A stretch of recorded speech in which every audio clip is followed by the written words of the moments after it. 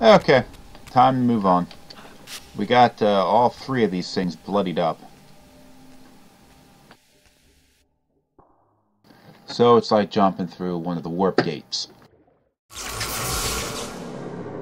In fact, he jumps in and somehow walks out the other side. Here the images were unadulterated, and their meaning ominously clear. The vampire hero, the bearer of the Reaver Blade, was confronted by an adversary worthy of his powers. The enemy race, long banished, had a champion of their own, with flaming eyes and a fiery sword. The resemblance I bore to the adversary mocked all my hopes. Had Kain been the vampire hero of prophecy all along? Did he suspect what I was?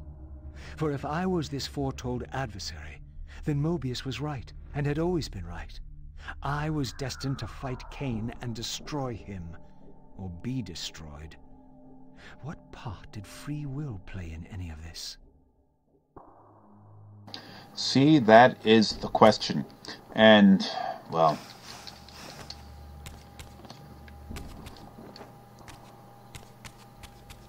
what part could free will have in any sort of foretold event? If he is destined to fight Kain, win or lose, it's not really free will then, is it?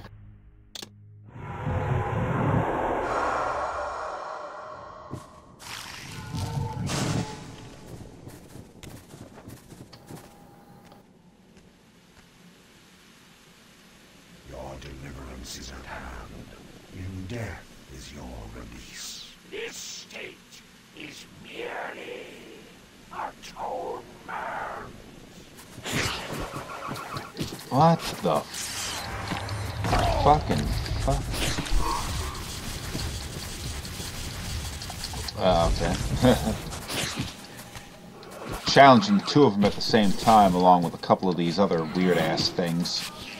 Kind of, uh. irritating. But, uh. I guess it does kind of work to my advantage a little bit to have the other enemies here because I can use them to regenerate my health a bit if need be. Because these guys are kind of...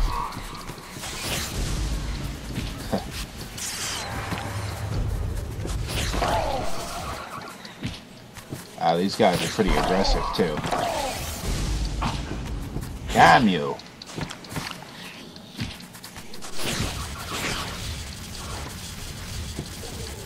Getting caught up in attack animations.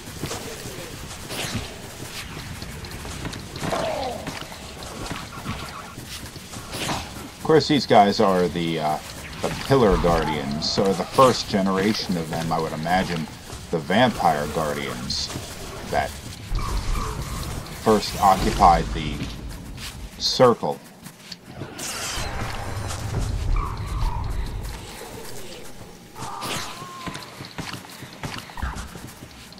And I mean, oh, one's dead.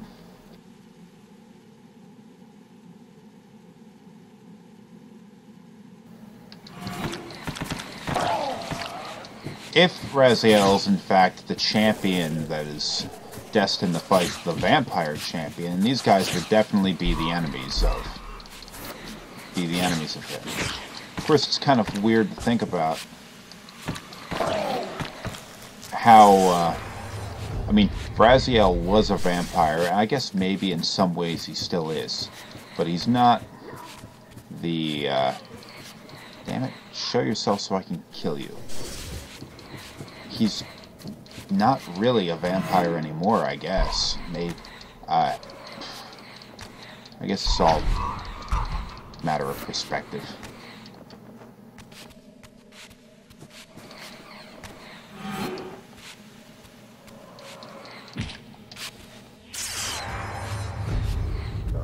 Uh, just appear so I can kill you.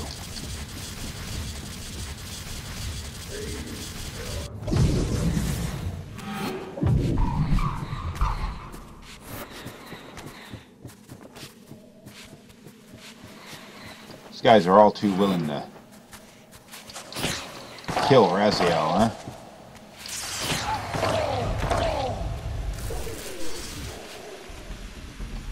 Up here. Up here. Up here.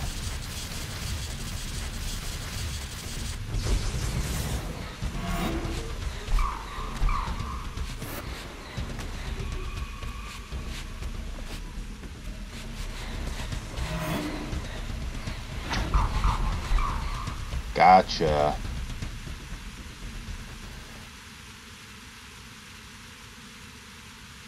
Now, uh, gotta find our way into the material realm, of course. Near the crypts for the, um, the Guardians. Of course, we're in another vampire ruin.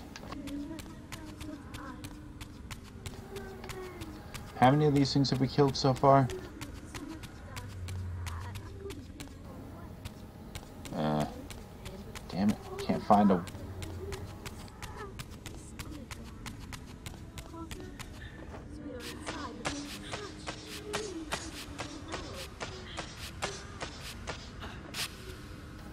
No, I don't want to do that. The, um, way back into the material room has to be down here. There it is.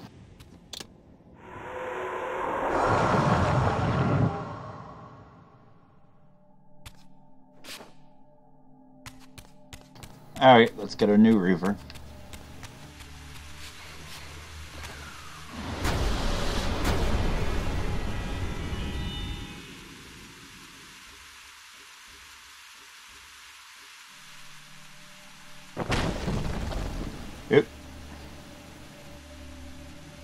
Once more, the Reaver absorbed the spirits of the former vampire guardians, and thus was imbued with the elemental power of water. Perhaps now I could enter that mysterious crypt at the end of the garden. Yes, we got the power. We can also do some uh, waterfalling and crap. That'll allow us to climb up the thing. I guess this isn't gonna do me any good. Allow us to put the fires out. Alright, I need to do that five times.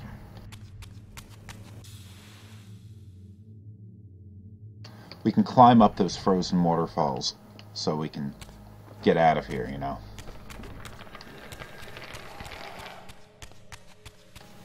Ah, they don't stay frozen forever.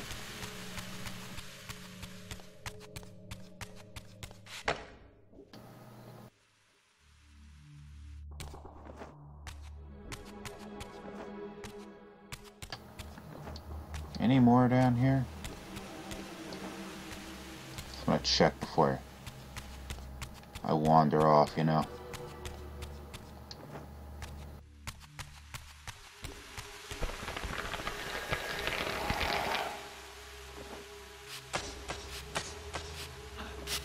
There's one in there.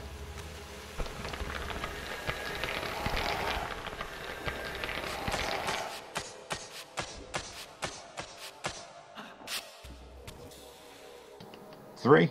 What, two more?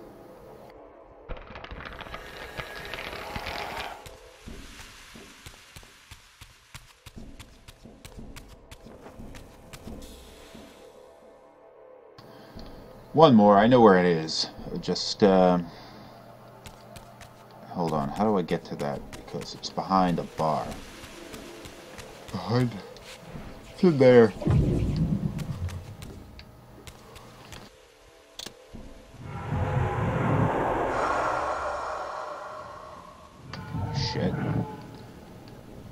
Is even covered up in the spectral realm. Can't even get up there. There's got to be another way to get back.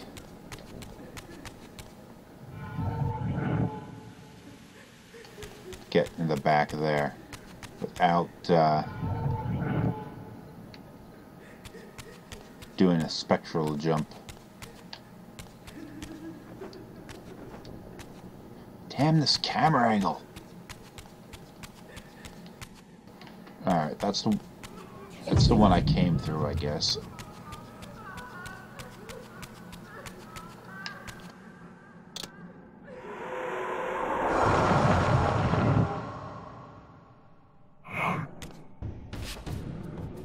Wow, that did me no good. I have to jump back in to get back outside.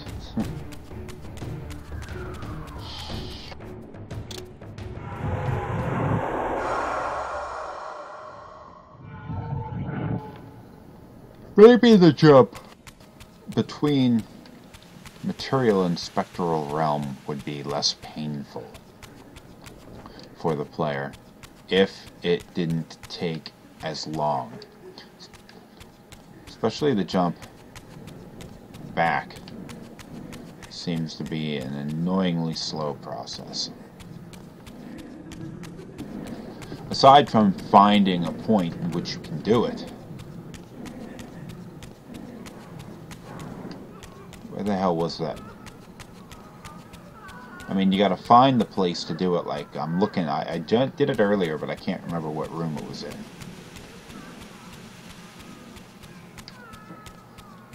But then the animation actually takes a while. I mean, not an incredibly long while, but watching him tear chunks of his body off to get to regular player model is uh, irritating.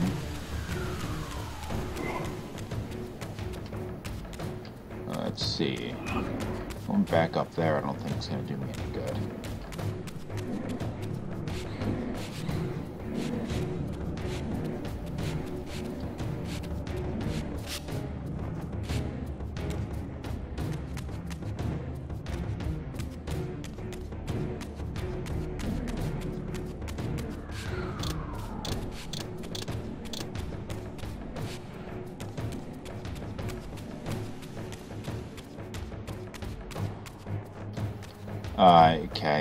The way up was actually covered over by those rocks when they fell. It would seem. So I guess I do have to do something up here, but... Damned if I know what it is. Perhaps it's something like this.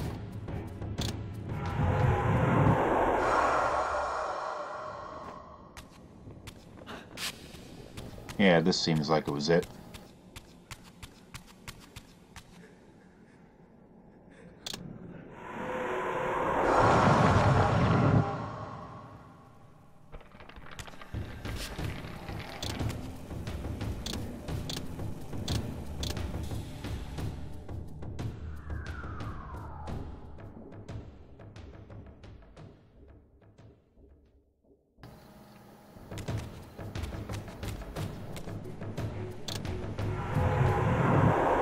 Course, I have to jump back again.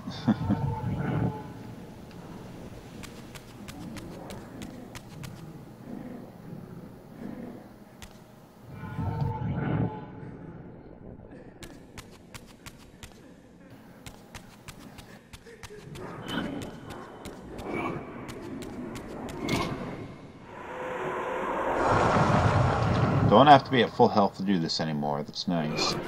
Hey, followed me in there. Bastard.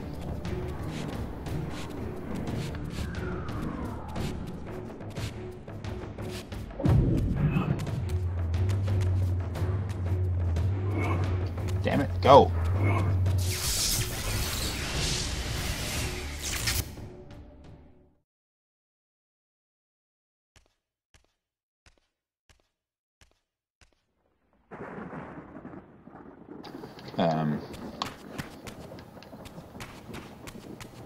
Okay.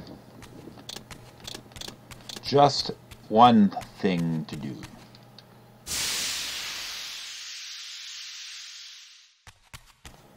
All the waterfalls have stopped.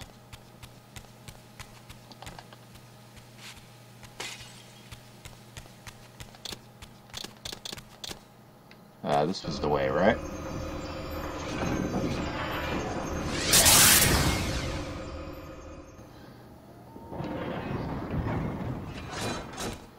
Will use the Flame Reaver to light the braziers, and then I can use the Water Reaver to extinguish the ones that don't need to be burning. Damn it. Ah, you sons of bitches, I do not want to have to. jump down the hole.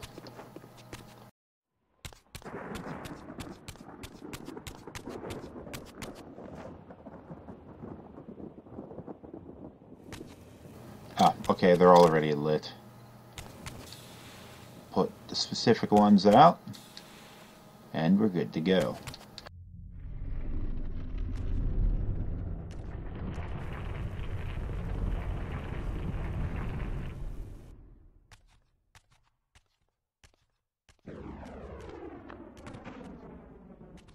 So, our wretched little savior returns. Come to join the last pathetic battle of the vampire race? But on which side, I wonder? I've not come to fight you, Vorador. You don't know why you're here. I know this much that you are the author of my fate, and as such, only you can rewrite it. You give me too much credit. you forged the Reaver. I have seen the evidence. I was its maker, yes? Then you know its purpose. No. Only the scraps of prophecy my master shared with me. And do these scraps explain why you would forge a weapon to imprison your savior? Ah, well then. It seems we have our answer. You've chosen your path. I have chosen nothing. I've been deceived at every turn. You seem to know what I am. Tell me. I thought I did once. But now all the prophecies have failed. The pillars are corrupted. I am the last of my kind, and when Moebius's hunters find me, it will have all been for nothing. You've forgotten about Kain. Ah, yes, Kain. I fear he shoulders a greater burden than he realizes. I cannot help you, even if I was inclined to. I crafted the Reaver blade, but only at the behest of my sire, Janos Audron. What sorcery he and the others laid upon the sword afterward, I cannot say. Janos tried to give me the Reaver before he died. He said that it was forged for me. But what did he mean? As my weapon? Or my prison? Perhaps you should ask him yourself. Janos is here. In a manner of speaking.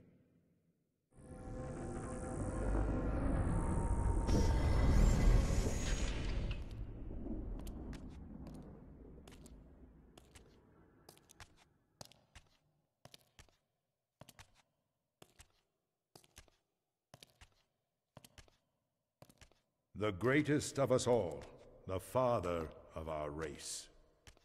The Sarafan tore the heart from his living body five centuries ago. But there's no sign of decay. How is this possible after all these years?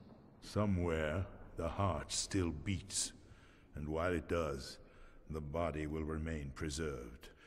If his heart could be restored, Janos might yet be raised. And you haven't tried to recover it in all these years. Many times, but our enemies hid the heart too well. It was taken as a trophy to Avernus Cathedral centuries ago, where they christened it the Heart of Darkness. Believing that it embodies the essence of our dark gift, they hid the heart away lest it fall into the wrong hands. Our hands. Redeem yourself. You may be our last hope. Perhaps you alone can find the heart if it is meant to be found. If Janos can be resurrected, he will have all the answers you require. This key will open your way to Avernus. But be advised, there are dark sorceries at work in the cathedral. You must be on your guard.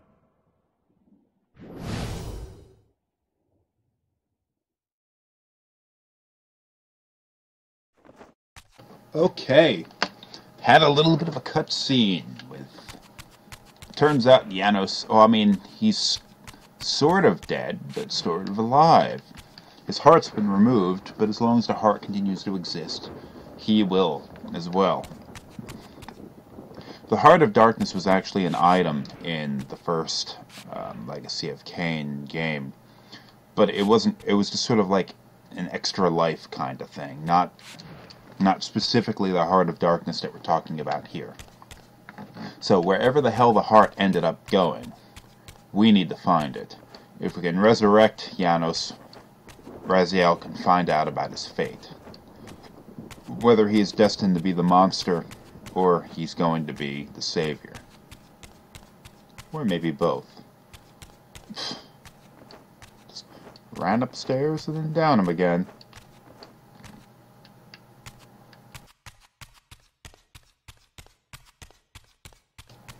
Look at all this crap here.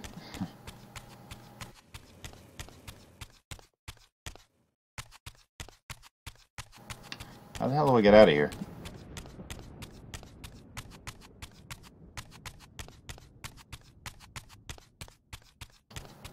Nothing here trying to kill me.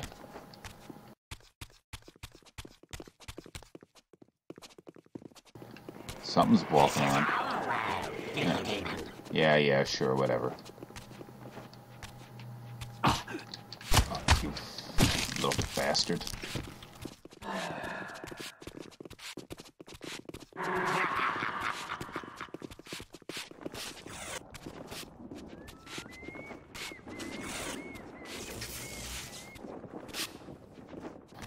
Now Vorador was a little, well, I mean, he was obviously aware that his time would be short.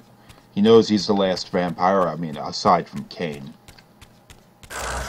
And he's perhaps just preparing for his own inevitable death. So he's less, uh, less overtly the hedonistic bastard that he's been uh, known as. He was also the guy who forged the Reaver. Now, I guess that was something that we knew before, but it's sort of uh, obvious now. Although he he made the Reaver itself, and but confesses to not really know the intention behind its creation, because he was essentially sort of like contracted to do it by the other vampires, and whatever they did to it, whatever magic they used to turn it into what it is, it was out of, it was beyond his knowing. So if we could, if we can get Janos back, then shit, maybe we could uh, figure it out. Anyway, uh, bring this episode to a close because I failed to find my way outside.